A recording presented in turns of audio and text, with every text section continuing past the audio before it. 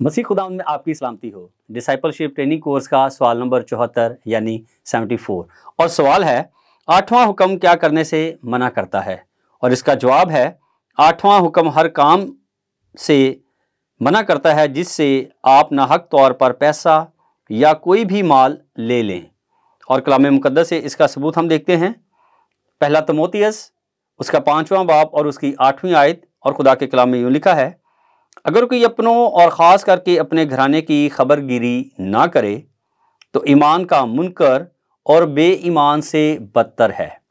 एक और हवाला खुदा के कलाम में से, इमसाल 28 बाप और उसकी 19 शायद और इसमें यूँ लिखा है, जो अपनी ज़मीन में काश्तकारी करता है, रोटी से सिर होगा, लेकिन दौलत का पैरू बहुत कंगाल हो जाएगा।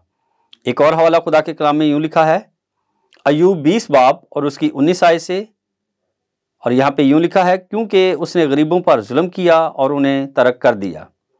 उसने ज़बरदस्ती घर छीना, पर वो उसे बनाने ना पाए।